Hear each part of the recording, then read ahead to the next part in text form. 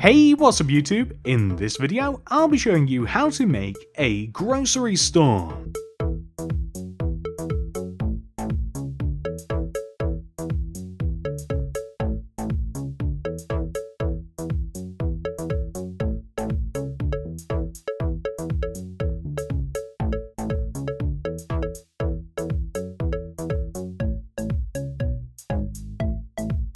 This is the amount of space required to make the grocery store.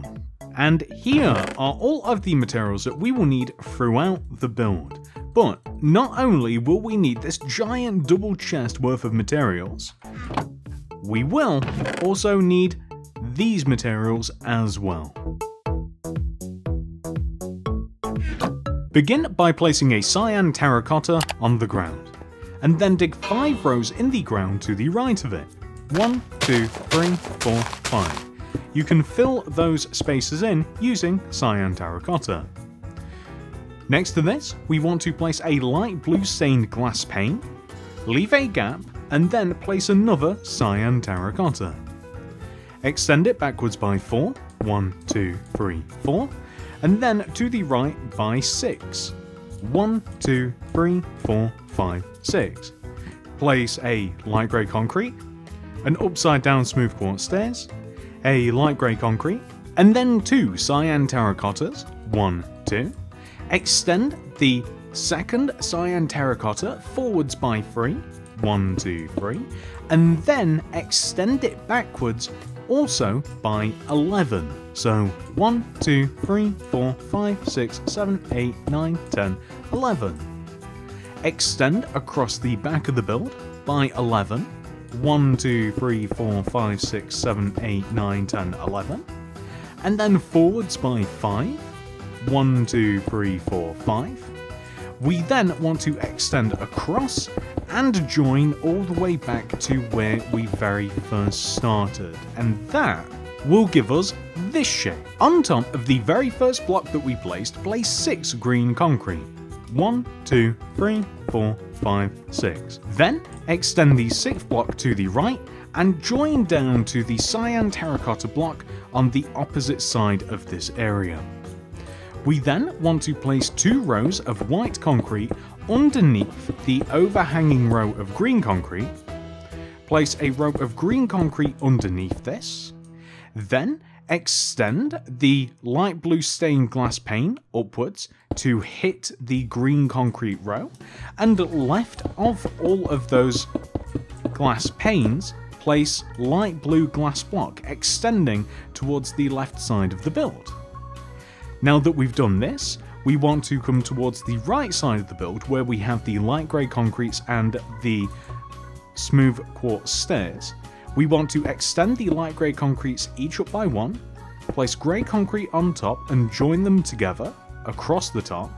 And then behind this, we're going to place white concrete just so that we cover the gap that we have here in this wall.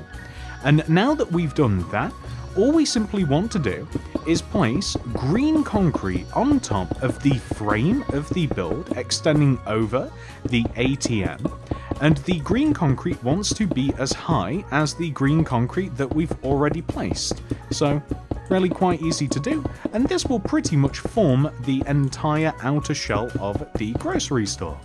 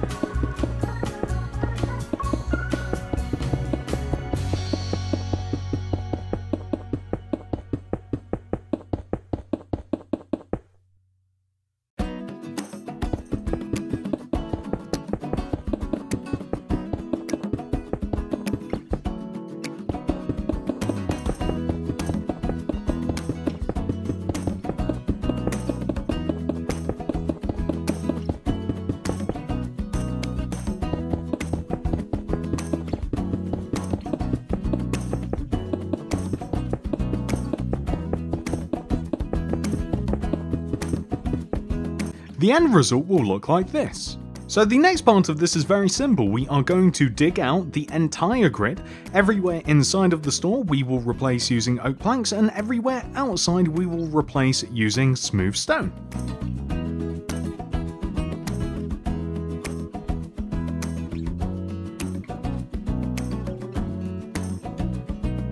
And also whilst we're here, we will make the roof for the store as well. So as long as we have three empty rows inside of the store, we should be able to fit absolutely everything we need to inside of here. So I'm going to use green concrete for the ceiling, and then I think that I'm going to install a fake roof ever so slightly higher. We'll use a different material for this, maybe even cyan terracotta. And now with all of that filled in, we can work on some of the details on the outside of the build. In this corner of the build, we are going to make a vegetable stand. It is 5 rows wide and it is made mainly using dirt. 1, 2, 3, 4, 5, extending across the front from this corner here, then extended one row up, one row forwards like this, and dig a row in front of this in the ground and replace it using dirt. We're then going to hoe the front row and replace it using wheat seeds. Then the middle row, we are going to hoe this and replace the area with carrots, and then the top row we will hoe it and place beetroot seeds in there. Then I'm going to stack spruce trapdoors on the right side of this, just like so, and that should hopefully maybe grow passively, if not we will bone meal it later.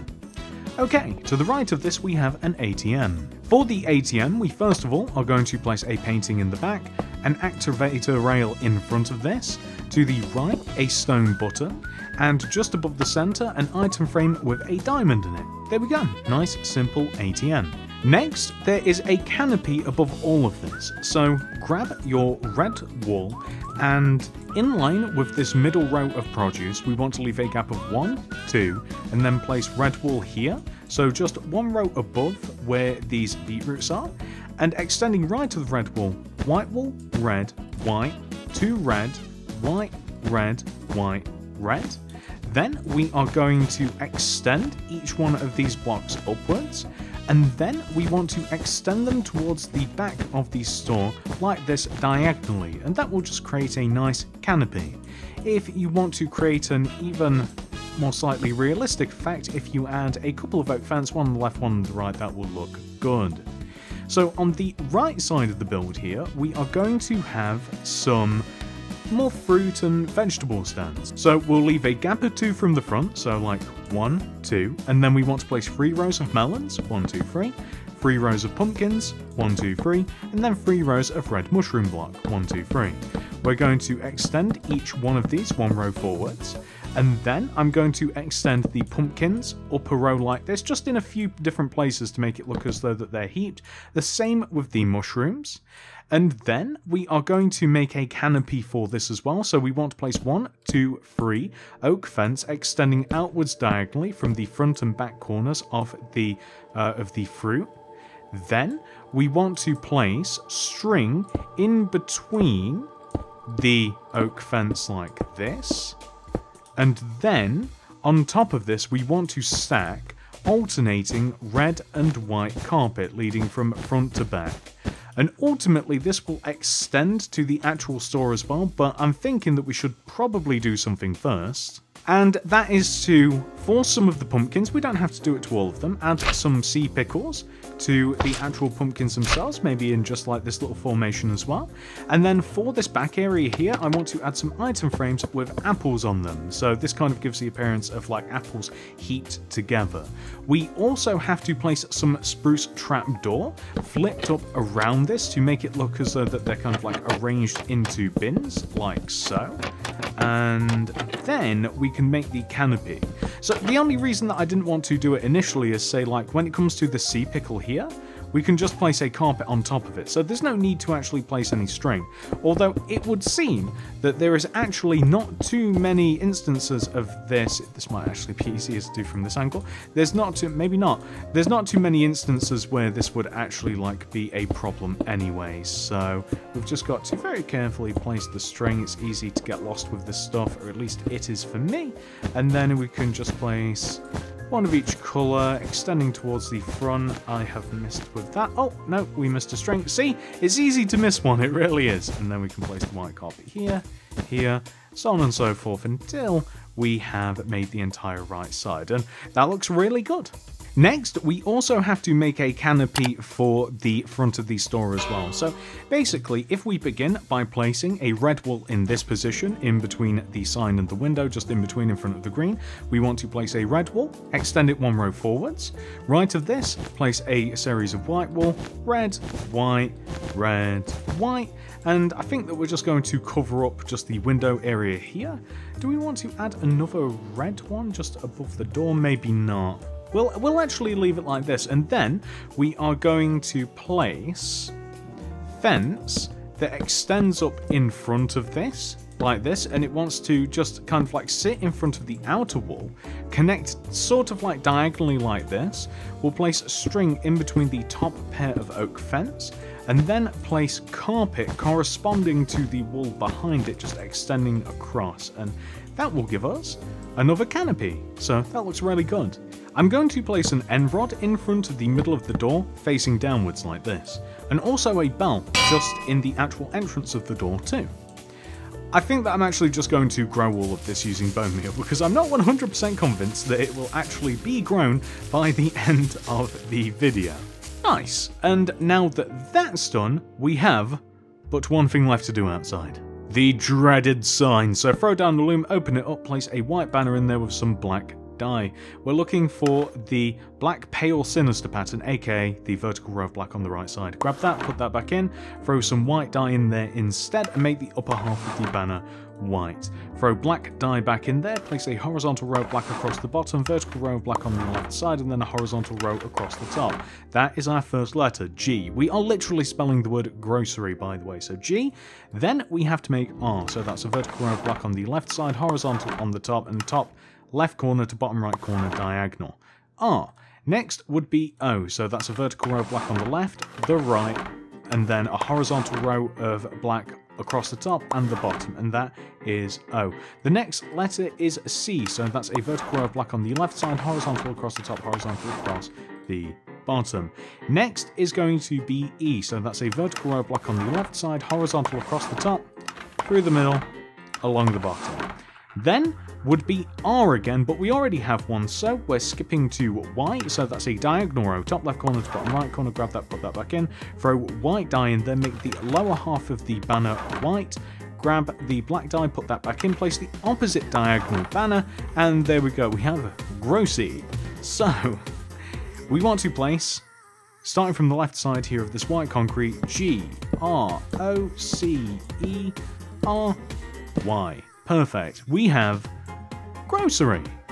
With all of the outside complete, we can now work on the inside. First things first, we have to make a coffee machine. This is at the front left-hand corner of the store. We place a couple of red terracottas extending from the front to the back, flare the second one upwards towards the ceiling, add a lever on the wall here, and then a painting inside of this empty space. I specifically like this one, with a flower pot on the empty ledge here, and then right of this, a button, above this, an item frame with cocoa beans, then, right of this, we want to place a light grey concrete with an item frame in front of it. This kind of looks like a bin. And then above this, we are going to add a shelf using spruce trapdoors. And then we need some brown candles. And these will just look like more coffee cups or different syrups or something. Now, right of this, we are going to stack a vertical row of bookshelves.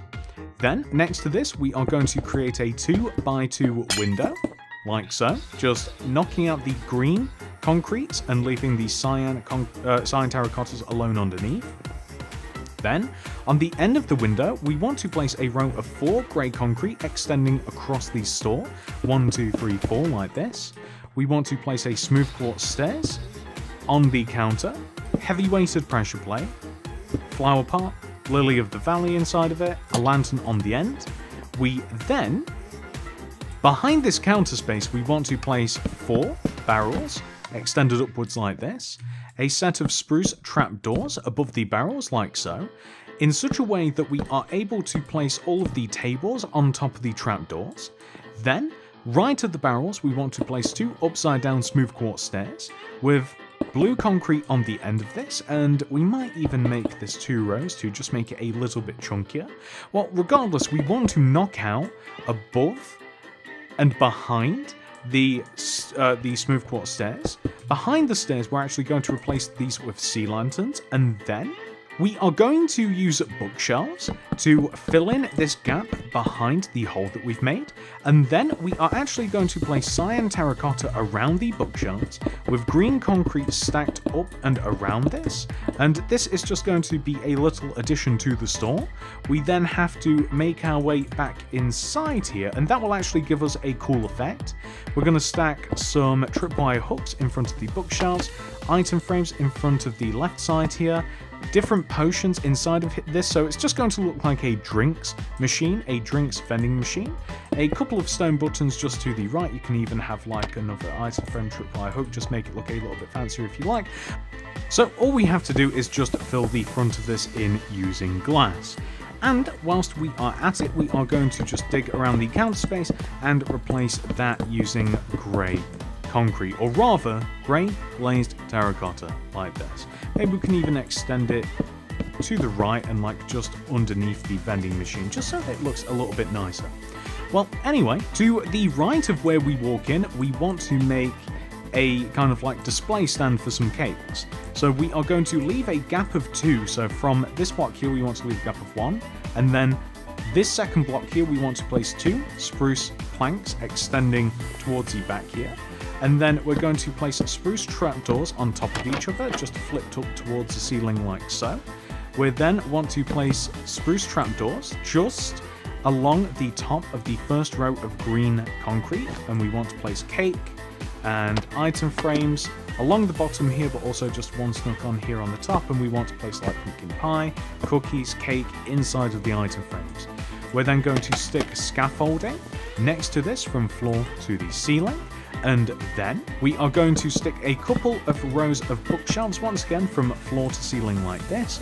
And this really gives like a nice fun feel to the inside of the grocery store. It feels as though that we're just absolutely surrounded by cool stuff, and that's how I like it. See, from here, we now want to move into the next part, and this is uh, ever so slightly less filled. So across this wall here, we are going to place white concrete all the way along to the left except for in this corner and this is a little bit dark but we're actually going to be placing a window here anyway so we can actually have a 2x2 square and then we'll just fill it in using light blue glass. So all the way over to the left here leaving a gap of one and we just want to kind of like floor to ceiling the area using white concrete like so. And then all the way over here on the left we'll have a barrel at the base like this.